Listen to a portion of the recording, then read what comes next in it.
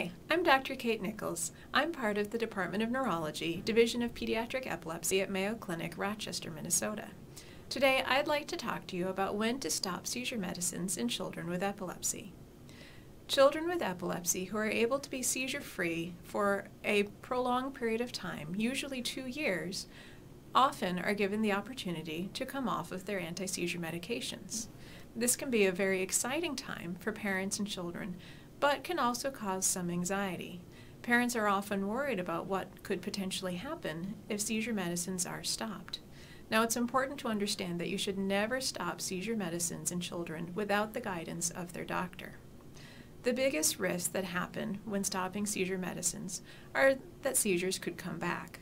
Most often, this happens within the first few years, and then seizures are usually able to come under control with restarting the medications.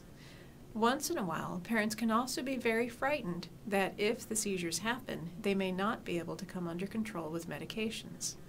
Research that we have done here at Mayo Clinic shows that the risk of having seizures that are difficult to control in the setting of medication withdrawal is no greater than the risk of seizures coming back even if you had continued medications. Unfortunately, seizures can sometimes come back in children who are seizure free whether or not medications are withdrawn. If that happens, we should not be concerned that it was because of discontinuing the medications, but rather that it was simply what was going to happen with your child's epilepsy. The typical process for discontinuing medications is that you would meet with your doctor and they may want to perform some tests to see if your child has a higher or lower risk of seizures coming back when medications are stopped. The most common test that's performed is an EEG. After the EEG, your doctor will then discuss with you the risks and benefits of stopping medications, and will then give you a schedule for slowly tapering off of the medication.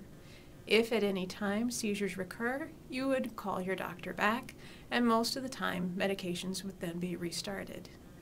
Just because a child has had seizures recur with one trial of weaning medications does not necessarily mean that they can't then have another trial once they are again seizure free for several more years. And so, if your child has been able to be seizure free for the last several years, congratulations! This is a very exciting feat for your child. I would recommend discussing with your doctor whether or not to discontinue medications, and based on that discussion, you may or may not decide to go ahead and wean them.